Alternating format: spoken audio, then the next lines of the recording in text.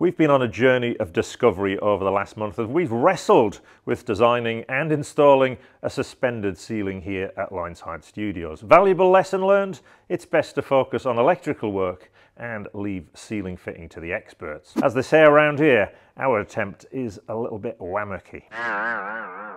It has, however, enabled us to demonstrate why using lighting distribution modules and pre-wired cables is such an effective solution for commercial buildings. It allows you to complete and test all of the fixed electrical wiring and then return to site and plug in all of the lights once the ceiling fitters have finished. And, of course, the customer has finally decided the exact location of the lights. If the customer wants to change the layout or add additional lights, it's a simple plug-in installation. We've installed this system from Flex 7, which we've explored in previous videos in this series. Check them out if you'd like to understand more about the system and how it works along with Dali lighting controls. Using our mock-up ceiling, we're going to explore how some of the control features work and how they enable energy saving. We've connected 12 Bell Lighting LED panels into our ceiling, which are a mixture of switched, switched with emergency, Dali dimmable and Dali dimmable with emergency. Now at this stage, I want you to use your imagination and stick with me on this one. Pretend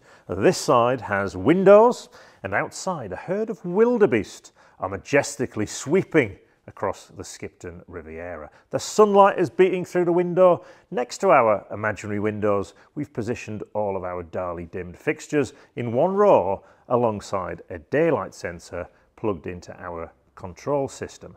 Now I'm going to use this torch to simulate all that fantastic daylight coming through the window. And as the light level falling on the sensor increases, we start to see the LED panels dimming. This daylight linking or harvesting reduces the energy consumption in the room significantly. So I've done the maths on this. We originally had 403 watts, but once it's been dimmed, we've moved down to 278. Now imagine this energy saving multiplied across a whole office block. Thinking about those office blocks at night, has anyone left the lights on and gone home? Automatically switching the lights off when a space isn't being used is a huge energy saver and one of the main drivers for using lighting controls. For offices and similar applications, there are two main methods of achieving this, detecting occupancy or absence.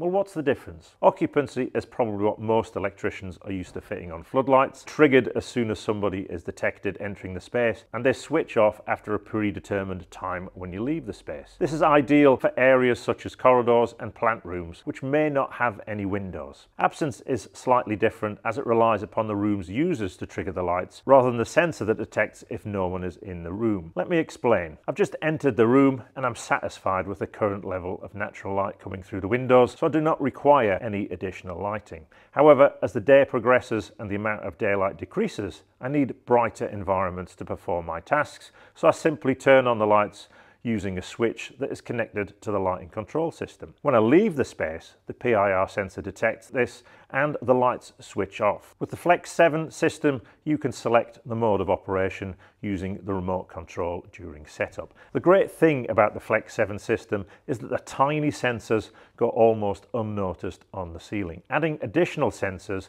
and switches is effortless as the system uses RJ11 connectors and extra low voltage wiring. What about more extensive changes to the system? What if we completely change the office layout and create multiple smaller offices or breakout spaces. If all of these fixtures were Dali controlled, we could simply reprogram the fixtures into different groups. However, we'd probably still need to wire in some additional sensors or switches to cover our new space. So that could mean you'd need an electrician plus a clean coat who can work the software. With the Flex 7 system, all of the changes are made by replugging the connectors in the distribution box. So let's start by unplugging the lights from the distribution box that we want to control. Instead of using the expansion module that shares all of the electrical connections with the starter pack, we'll use a tap-off unit.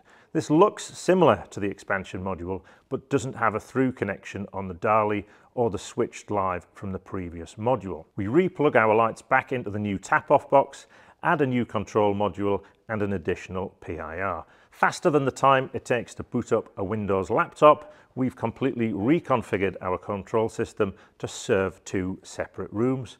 Again, we can make fine adjustments to the control system with the remote control. A suspended ceiling can hide a multitude of sins, and just because we're installing safety extra low voltage cabling doesn't mean we can ignore the regulations, not like them pesky data installers do. Now, if we'd opted for absence-based detection in our new space, we may need to add an extra switch. And remember, the actual switch down at the plate there isn't switching any real current, it's just sending a signal to trigger the relay that's inside the lighting control module here. In our system, we've utilised the pre-wired switches from Flex 7, but you can use any manufacturer's retractive switch if you want to match other wiring accessories in the area. By adopting the lighting control techniques used in this video, you can reduce lighting energy consumption by between 20 and 60%, depending on how the space is used. I'll leave a link to more use cases from the Flex 7 website in the description below. And here's a helpful tip from me. If you start using automatic lighting control, then everyone who uses the space will get used to the lights switching themselves off. However, beware,